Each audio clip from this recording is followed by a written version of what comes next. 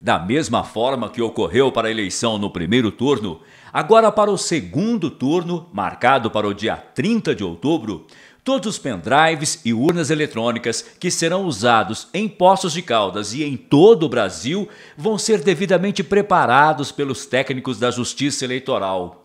Tudo o que é feito sempre tem acompanhamento dos representantes dos partidos políticos, da imprensa, OAB, além de juízes e promotores. Em Minas Gerais, só haverá votação para o cargo de presidente da República. De acordo com o cronograma do TSE, deu início hoje a preparação das urnas eletrônicas para o segundo turno, encerra na próxima segunda-feira. Então, hoje nós já iniciamos com a geração das mídias, com os dados do segundo turno. Aí nós vamos passar após a inserção desses dados nas urnas eletrônicas, encerrando com a lacração e auditoria das urnas eletrônicas, que deve acontecer na próxima segunda-feira.